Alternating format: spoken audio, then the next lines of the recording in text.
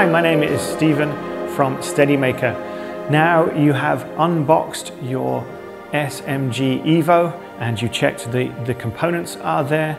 Now we will look into the construction and pre-balancing. The main component is the three axis stabilizer.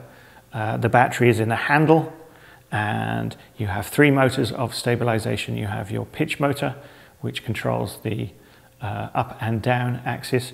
You have your roll motor at the back.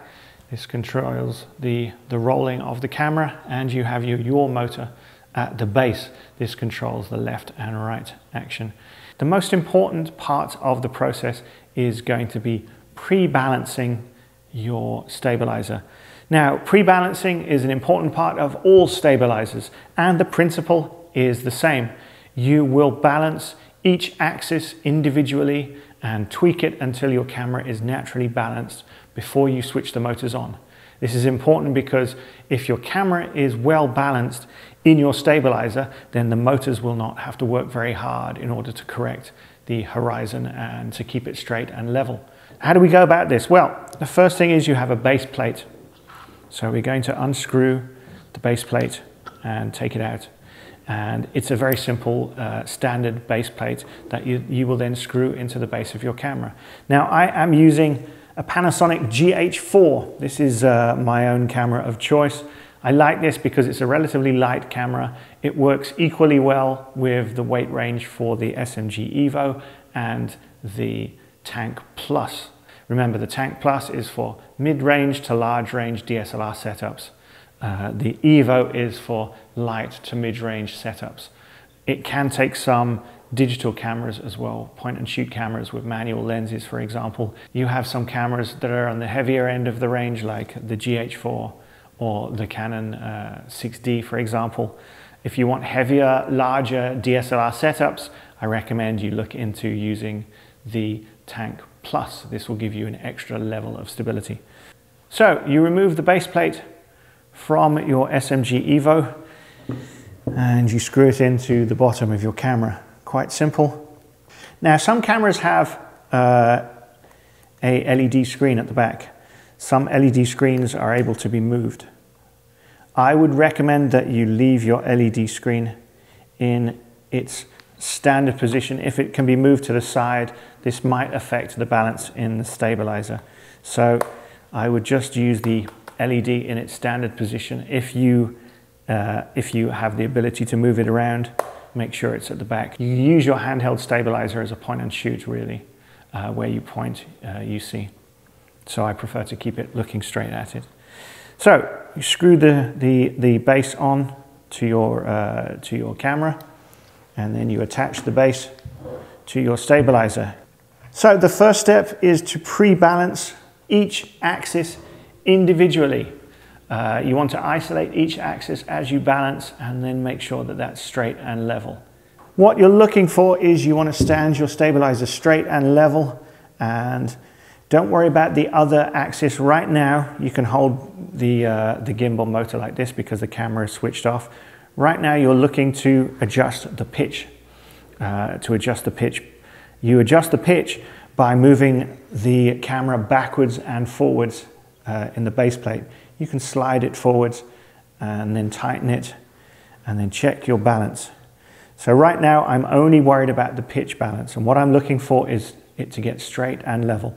So you would tweak the adjustments forwards and backwards until your camera is balanced straight and level. I'm going to have a look at mine and I can see it's a little front heavy. So what I will do is I will nudge it backwards a little, loosen it, nudge it backwards and tighten it, and then have another look, keeping hold of the, the other gimbal. And that looks pretty good to me. That looks straight and level. So now your camera should be straight and level in the pitch axis, which is the up and down axis. Once it's balanced in the pitch axis, then you will need to balance it in the uh, roll axis, which is the one at the back. For the roll axis, you will need your Allen key. You will loosen the Allen screw and you will slide uh, the gimbal motor backwards and forwards in your, your gimbal. So now you're looking for it to be centered. So you can nudge it to the left, nudge it to the right until it's centered. So right now you can see that it's tilted to the right. So I will want to nudge it to along to the right, along to the right hand side to balance it, still right hand side heavy. And now it's a little left hand side it's heavy. So the principle is you nudge it backwards and forwards in the slider until you find it straight and level. Feels like it's straight and level. Let's have a check. Yeah, that looks pretty good. So I'm going to tighten my Allen screw back in to the slider at the back because that's the best balance location I can find. So now you have a good balance in the pitch and the roll gimbals. The last thing you need to adjust is the yaw motor. Uh, now to adjust the yaw, you put your camera on the side like this.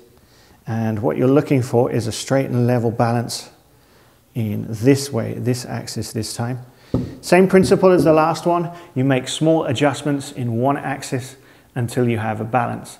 And again, it's small movements up and down the slider until you feel it's balanced. So it looks like I need to go forward. That looks pretty good. When you adjust one axis, it tends to change the balance in the other two axes. So what you're doing is you're isolating one axis and then balancing it, isolating another axis, then balancing it, and you'll make smaller and smaller and smaller adjustments in all three axes until you have pre-balanced your stabilizer. Okay, it's nice and tight. So let's put it back to the default position. Now let's have a look. Now it looks like I need to need to balance a little more in the yaw axis. You don't have to be 100% accurate because the motors will do the work, but you need to be as close as you can. The closer you are in pre-balancing, the less the motors will have to work to balance your camera during its operation. So pre-balancing is an important stage. Okay, so let's have a look. Now I'm just checking. That's pretty good. So now it's pre-balanced in your your uh, your stabilizer. You have it. You have a good a good balance in the pitch and the roll and the yaw. Once that's pre-balanced, uh, then you would switch on your stabilizer. To switch on your stabilizer, there is a yellow button at the back here. Uh, push and hold the yellow button at the back. You'll hear it tones. So the default when you switch it on is follow mode. This means the gimbals will attempt to follow where you are pointing the camera. If I tilt the camera down, you see that it tilts it down. If I tilt the camera, the stabilizer up, you see that it pans the stabilizer up uh, to tilt the camera up. So it's trying to follow my, my direction of my hand. If I adjust the yaw, in other words, pointing to the left and right, you'll see that it attempts to follow where I am pointing. So this is your default mode. This is follow mode. If I press two quick presses on the silver button on front, you'll hear another beep. Now the camera is locked in the pitch. It maintains a straight and level no matter how I pitch my stabilizer. However, it still follows in the yaw. So the yaw axis still attempts to turn the camera where I am pointing my hand, but the pitch is locked. If I press it three times at the front, another set of tones, and now it is locked in both the pitch and the yaw, which means it maintains a straight and level wherever I point. So if I try and adjust the pitch, it keeps the camera straight. If I try and adjust the yaw, it still keeps the camera straight. So you can see straight in the pitch and straight in the yaw. The last mode we have is what's called a calibration mode. Calibration mode if you've experienced some extra balance issues with your camera, uh, it's not looking straight and level or it's drifting, you can press four quick presses on here.